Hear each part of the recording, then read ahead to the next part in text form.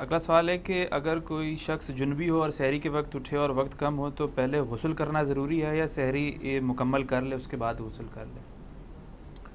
पहले सहरी करे जी। गसल तो बाद में भी हो सकता है। सहरी रह गई तो रह गए फिर आप। क्योंकि सहरी के बगैर रोज़ा रखना बड़ा मुश्किल काम है। सही। बुखारी मुस्लिम में हदीस है अम्मा आयशा कहती है कि नबी इस्लाम जब जुनबी होते और एहतलाम की वजह से नहीं होते थे। यानी वो ये कहना चाह रही थी मियाँ बीवी के ताल्लुक की वजह से। सही। तो आप इस्लाम बसाओकात तुलु फजर के वक्त उठते और आप रोज़ा रख लिया करते थे। यदि तुलु फजर का मतलब है सुबह सादे ख़त्म हो चुका है। तो आप शहरी भी खा सकते हैं। बुखारी मुस्लिम में आते हैं हज़रत अबू रहरा तो ये फतवा तीस साल तक देते थे हजूर की फात के बाद सल्लल्लाहु अलैहि वसल्लम कि जिस पे गुसल फ़र्ज़ हो वो रोज़ा नहीं रख सकता। अम्मा आयशा तक ये मसला पूछा तो आपने कहा कि अबू रहरा ने कहाँ से मसला निकाला है?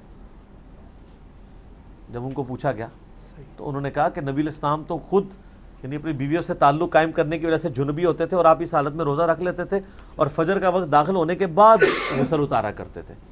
तो आप पहले सहरी खाएँ फिर बाद में।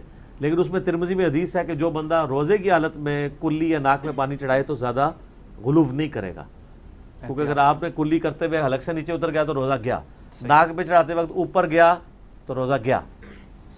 तो आपने फिर एहतियात से करना ज़्यादा ऊपर नहीं खींचना।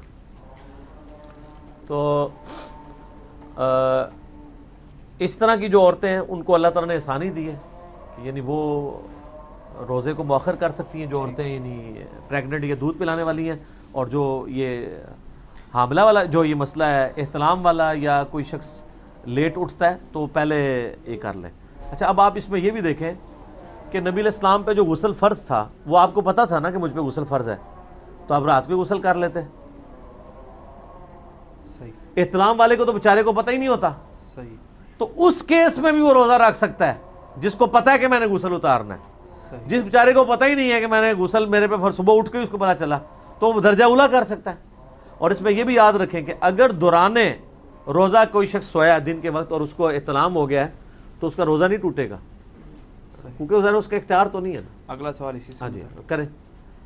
आपने जवाब दे दिया। इसी का दूसरा पोर्शन ये कि अगर कोई जज्बात से मगलूब होकर मुश्त जनी कर ले तो फिर रोज़े वाला इसके ऊपर मैंने बात की हुई थी ना कि उसके रोज़े का फिर वो कफ़ारा तो नहीं देगा वो साठ रोज़ों वाला। अब वो फिदिया यानी फिदिया नहीं कज़ा एक रोज़े कज़ा करे और तौबा करे। रोज़ा उसका बार टूट गया। अगर किसी ने इस तरह गलत काम किया तो उसका रोज़ा गया। रोज़ा टूट गया। रोज़ा तोड़ने वाले कामों में से एक काम है ये। और ये इतफाक़ी मसला है।